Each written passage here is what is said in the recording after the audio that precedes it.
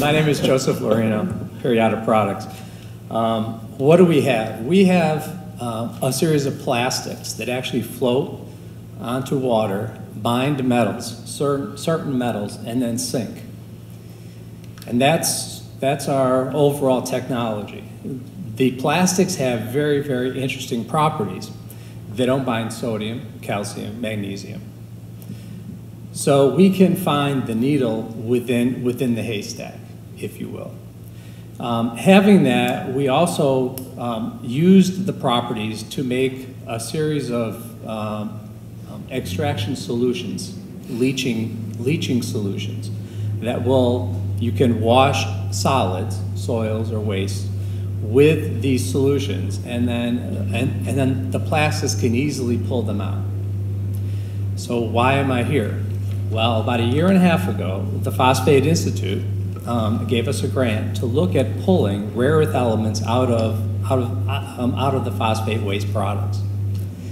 And the results were actually, um, actually presented about two weeks ago. And we're able to pull out the rare earth elements out of the waste products in a yields of about was, um, 60 to about 70 percent. Uh, prior to this, they were able to pull it out at about 5 or 10 or so percent. Um, so if you then can open up the phosphate waste products as a source for, for um, the rare earth elements, you can, there's a, there is a lot of phosphate ore mined, and you can look at about 100,000 uh, tons of, of the rare earth elements in the waste globally. So it's a huge potential market. Can you explain a little bit more about the technology and where you are in the patent application process? Okay, the company currently has four, four separate U.S. patents uh, for, for both the um, for both the synthesis of, of the family. Um, they have, if you will, claws, so we can we can move the claws around to bind bind various metals. Um, we also have other other kinds of patents patents for the uses. So we have four four granted U.S. patents, Mhm. 22 international patents. Mhm. Um, we have three separate patent applications in the U.S. and we have a couple of PCTs uh, outstanding in there. How are you organized right now? You a private company, public company? Uh, we are we are a, we are a private company, uh, uh, a C corp, Inc. Um, we uh, were actually founded in 2009. Uh, we have been funded um, through some of grants, but uh, I would say friends and family. Mhm. Um, we've raised about 4.5 $4.5 million to date. Uh, company is sitting with uh, basically zero debt on the books. And uh, the goal of our company is not to become going into mining or going into any really industry. We actually develop intellectual property, and that's what we do, and that's what we're going to going to basically continue to do. So we find people out there in whatever market there is to partner with. And we want to apply technology that we actually have to whatever kind of problems you may have. And is it a license royalty kind of arrangement whereby Yes. you will license the technology either exclusively or by sector to a participant who either then resells it or builds a solution? That is correct. Okay. Any questions? Well, any questions?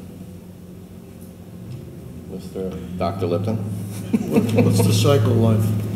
Uh, Do you, you strip the plastic and then you reuse it, yes? Yes. What's the cycle He cycle? asked, he asked what the cycle life was, and um, I'll, I'll actually answer that in two ways. One, uh, the, the first lot of the material was made in 2006, and we have, we have samples of all the lots produced by then, or, or, or actually since then, and they all, in fact, bind to the same amount through, through um, the metals, performance metals. Um, with, with the Phosphate Institute project, they actually had us do cycles, pulling the metal on and off. We were up to 10 cycles and we saw zero, zero loss. So we can pull on and off relatively quickly. The next, the next phase of grants is actually to look at if uh, we can actually go to 20 or 30 cycles. And then to actually recycle the leach solution so that it can be basically closed, closed loop Okay, system. one more question. Let's say um, obviously, the surface area for plastics are very important here. Okay? So I assume you extrude it or, or a ribbon or, or, or beads, something like that? Um, The form right now is actually a powder Okay, plastic, uh, average kind of size to 200, 250 micron size. Um, So it's fairly large. Uh, We do have a program looking into, um, looking into extruding it in terms of other kinds of forms. I'm trying to think of a, of a metric here uh, to describe. What I want to know is if I have X volume of plastic, what uh, density, how much metal do I recover per unit? Excellent question. Um, Ion exchange, you typically look at about five, five or so percent. Okay? We bind up to the weight. So Okay. you're looking at um, And when you say, 50 to 100 percent. you, you said phosphate, Do you mean, for example, from phosphate mining? Yes. Okay. So from, from the phosphate mining industry, they will actually pull out, and I don't want to do too much chemistry here, but the phosphate's the negative part. Mhm. And, and the calcium, the rare earths are, are, are actually the positive part. So what they do is they actually go, go through separations of the waste clay, um, the amine tails, the phosphogypsum, to get to the phos acid. The phos acid actually has about thirteen percent rare earths reporting to it. The rest of it is actually lost in, in the process. So we looked at all of those waste streams, if you will, and annually, you're looking at about 100,000 tons annually, not even going into the stockpiles of the waste clay or the phosphogypsum or anything else that is there. Uh, Typically, those are light rares you're finding the phosphates. Um, The monazite that we've looked at in Florida is about 50% uh, light, 25, Okay, well, 28% heavy. Okay, that, that's true. Any other questions or any questions? Up, here we go. Three. Yes, uh, I had uh, two questions. Uh, Is, what is the, um, the functional group on the plastic? Do you have a functional group that you add that uh, tracks the metals to it? And then secondly, does that um, plastic material uh, pick up all the uh, rare earths together, or does it pick up separate ones for, you have different plastic materials for each, you know, separate rare earth element? Um, The group that we use um, is actually, actually a carbonate group. Um, And the, the plastic is actually composed of carbon, hydrogen, and oxygen. Does not have sulfur, phosphorus, um, uh, sulfur, sulfur, phosphorus, phosphorus, nitrogen, so you can actually burn the plastic if you want, um, if the metal's really, really valuable, and you produce CO2 and H2O. Um, you, you won't have any SOXs or NOXs produced uh, through actually the burning of that. Um, the actual technology is, uh, patented technology is, is twofold. One, um, because we're able to make the monomers different sizes, we have the groups that I'm using my hands to represent that as being, being the binding groups. And we can move those binding groups around within the monomer unit and then, of course, between the monomer units. So with, within there, we have two, two separate binding sites. And except for the, um, for the carbonyl group, there's total flexible, flexible freedom of the rest of the polymer molecule, which has these huge hydrocarbon chains, which give it the ability not to actually, actually, actually dissolve in the water.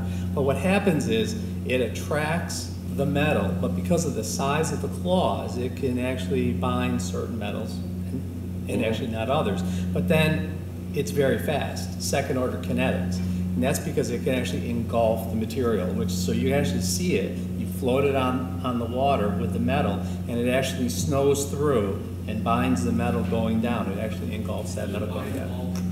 Yes. So the second part of your question is, do we bind all, all the 17, the 15 plus 2 rare earths? The answer is, the answer is yes. So where do we fit in this technology? We're not, we're not the technology to actually separate the rare earths.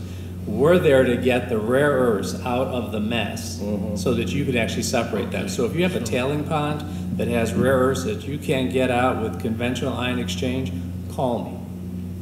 Okay, how about the uranium and thorium? Does it reject those? And No. Bind to those? It binds those also. Okay, So that'll pick those up together. So Okay. we're looking at ways to use those, and there is interest in actually taking those thorium being in fact the uranium of the future in terms of being green.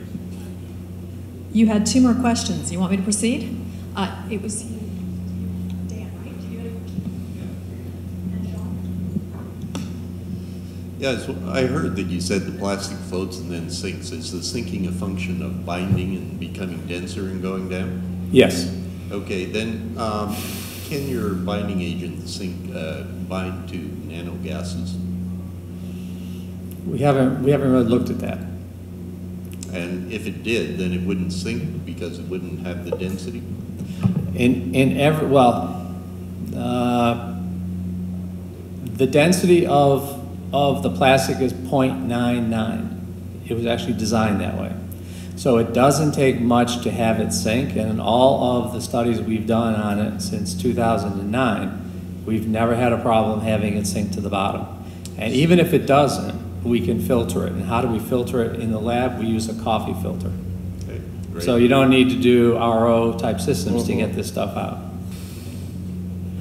Uh, I understood that you, you made a feasibility uh, demonstration a few weeks ago, is it correct? Yep. Um, I actually presented at the, uh, the mining conference, yes. Okay. I also understood that the rears would be fixed in the plastic, and you said if you are interested in what you collect, then you would burn it. So that means that the plastic is a consumable.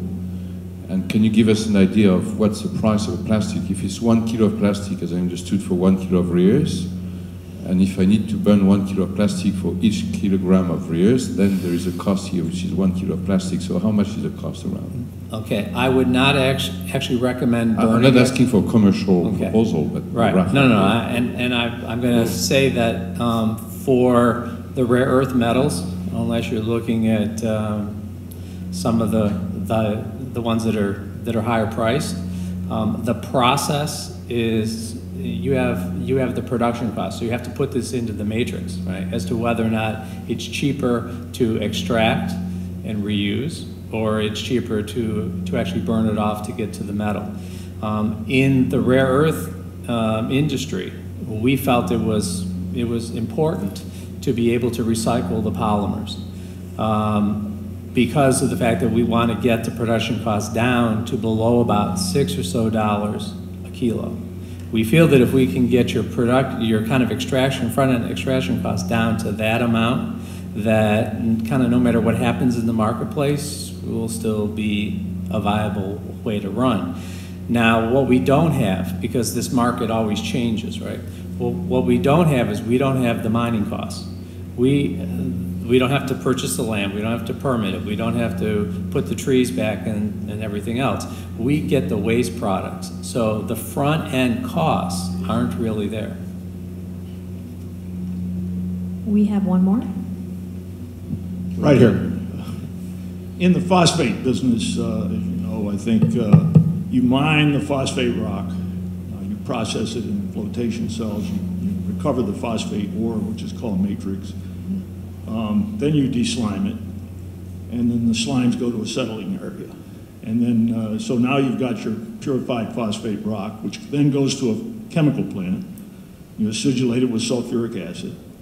And then you produce phosphoric acid and phosphogypsum, which goes to the stack. Correct.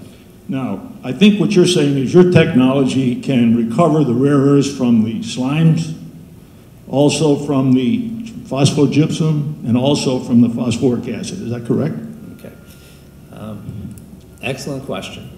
Uh, Yes and no. So let me, let me go through each of the steps. Um, The phosphoric acid, if we could get samples of the phosphoric acid, we did actually get samples. Mosaic gave us samples of the phosphoric acid. If we were able to get into the stream, the answer is potentially yes. And I know FIPR, which is, which is the Phosphate Institute, has been looking and in fact doing that. That's fruit that's hanging way up there. I'm looking for something easy, right, starting off.